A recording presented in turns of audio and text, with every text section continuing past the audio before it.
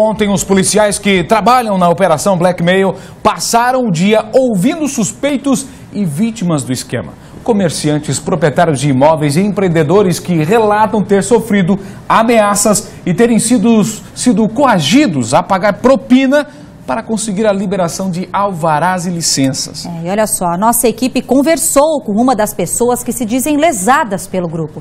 Ela conta que fazia pagamentos mensais para ter o empreendimento legalizado. Confira. A movimentação na sede do Grupo de Atuação Especial de Combate ao Crime Organizado foi grande. O motivo é a investigação Blackmail, que traduzido do inglês significa chantagem. Cerca de 30 pessoas, entre vítimas, advogados e possíveis envolvidos no esquema, prestaram depoimento até agora. As histórias foram gravadas em áudio e vídeo pelos investigadores. Entre os convocados estava o primo do vereador João Carlos Gonçalves, preso em São José do Rio Preto, São Paulo. Ele chegou em Joinville no fim do dia e teve acesso a um advogado. Na sequência, foi escoltado da sede do GAECO até o IGP onde realizou o exame de corpo de delito. Entre as vítimas está essa mulher, que prefere não mostrar o rosto. As cobranças eram tantas que ela teve que fechar a empresa. 500, 120, 180, ainda nós pagava mensal para essa pessoa, sabe? Pegamos aquele dinheiro, então a gente tinha aquele sonho de trabalhar com nós com lanche, né? E tendo nós naquela esperança de abrir tudo certinho para dar certo, nós nunca desconfiamos. Além das exigências de cunho sanitário, o fiscal também teria direcionado a vítima para um contador, responsável por abrir a empresa legalmente.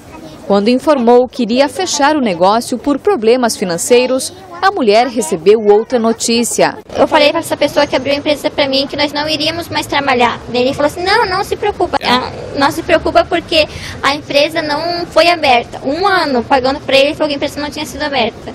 Daí, esses tempos atrás, trabalhando na minha casa, daí foram me entregar oito caixas de cerveja. Daí quando eu olhei o papel, estava no meu nome, com o meu CNPJ, mas só que era para a Associação dos Moradores.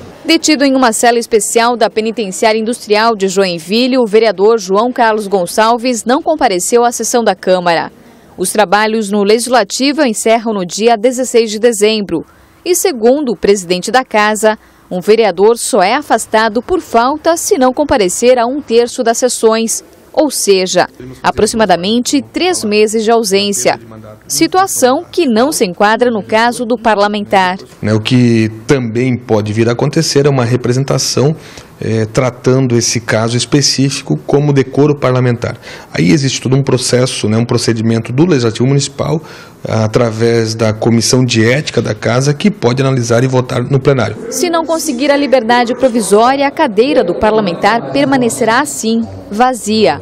Mas como ficará a aprovação de projetos com o vereador a menos no Legislativo? Importante e o cenário ideal era que pudéssemos os 19 estar aqui apreciando né, e participando da sessão. Porém, a falta de um vereador não inviabiliza ah, o trâmite do Legislativo Municipal. Os nomes dos sete presos foram conseguidos com exclusividade pelo jornal Notícias do Dia.